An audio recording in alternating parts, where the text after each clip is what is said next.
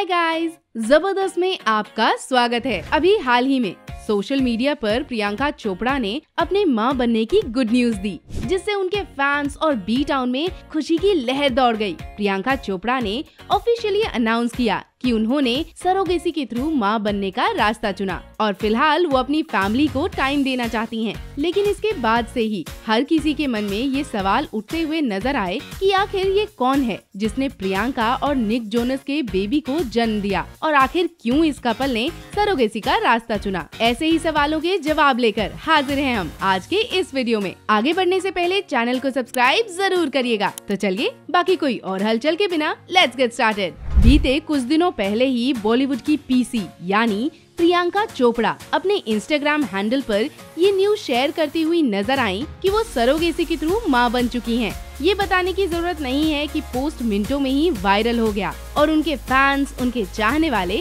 उन्हें कॉन्ग्रेचुलेट करते हुए नज़र आने लगे इस वायरल न्यूज़ ने जहाँ उनके फैंस को एक बहुत बड़ा तोहफा दिया, वहीं कई ऐसे सवाल हैं जिनके जवाब पाने के लिए उनके चाहने वाले उसी दिन से बेचैन हैं। प्रियंका चोपड़ा अपने पोस्ट में ये रिवील करती हुई नज़र नहीं आई थी कि उन्हें बेटी हुई है या फिर बेटा खैर आपकी जानकारी के लिए आपको बता दें कि प्रियंका और निक के घर एक बेबी गर्ल आई हैं। जहाँ तक रिपोर्ट्स की मानी जाए तो ये एक प्री मेच्योर डिलीवरी है जहाँ उनकी बेटी का जन्म समय से पहले हुआ है जी हाँ दोस्तों जहाँ पूरे विश्व भर से इस पावर कपल को विशेष मिल रही हैं, वहीं ये बात सामने आई है कि इनकी बेटी 12 वीक्स पहले ही जन्म ले चुकी हैं। आपकी जानकारी के लिए आपको बता दें कि डेली मेल की रिपोर्ट के मुताबिक डिलीवरी टाइम अप्रैल 2022 का था। लेकिन कुछ हेल्थ इश्यूज़ की वजह से बच्ची का जन्म पहले ही हो गया। रिपोर्ट्स की मानी जाए तो प्रियंका और निक की बेटी अभी भी साउथ कैलिफ़ोर्निया के हॉस्पिटल में ही है और उसे तब तक घर लेकर नहीं जाया जाएगा जब तक वो पूरी तरह से हेल्दी ना हो जाए। बात करें अगर सरोगेट मदर के बारे में।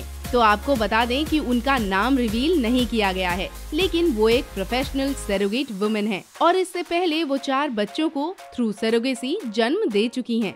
जैसा कि आप और हम सब जानते हैं कि प्रियंका हमेशा से ही माँ बनने को लेकर काफ़ी वोकल रही हैं। उनका हमेशा से यही कहना था कि उन्हें बच्चे बेहद पसंद है और जब भी भगवान की मर्ज़ी होगी, तब वो माँ बनना ज़रूर पसंद करेंगी फ़र्स्ट दिसंबर 2018 को प्रियंका और निक शादी के बंधन में बंध गए थे। और फिर कुछ समय बाद से ही इस कपल की तरफ़ से गुड न्यूज़ सुनने के लिए उनके फैंस काफ़ी बेताब थे। आपको बता दें कि रिपोर्ट्स का कहना है कि प्रियंका और निक काफ़ी समय से पेरेंट्स बनने के डिसीज़न पर सोच विचार कर रहे थे। लेकिन कभी पैंडमिक तो कभी वर्कलोड के कारण दोनों कोई फाइनल डिसीज़न पर नहीं पहुँच पाए थे। लेकिन साल 2021 में दोनों ने मन बना लिया था।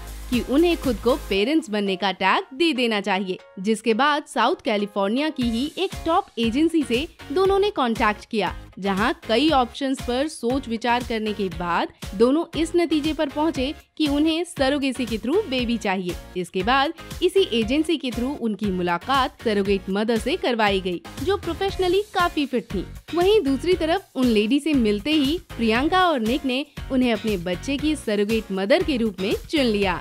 जहाँ तक बात है सरोगेसी को चुनने की। तो सोर्सेज का कहना है कि प्रियंका 39 इयर्स की एज में भी पूरी तरह से फिट हैं और वो एक बच्चे को जन्म दे सकती थी। लेकिन उनका बिज़ी शेड्यूल उन्हें और निक को एक साथ टाइम स्पेंड करने में एक काफ़ी बड़ी रुकावट थी। प्रियंका पहले ही कई प्रोजेक्ट्स के साथ अग्रीमेंट कर चुकी थी, जिसकी वजह से वो काम से ऑफ़ नहीं ले सकती थी।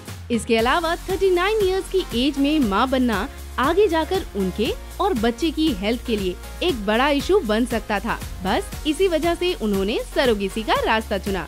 So guys, that is all for today's video. हमारे चैनल ज़बरदस्त को सब्सक्राइब ज़रूर कीजिएगा। और आपको ये वीडियो कैसा लगा हमें कमेंट सेक्शन में ज़रूर बताइएगा। मिलते हैं आपसे नेक्स्ट वीडियो में। Thanks for watching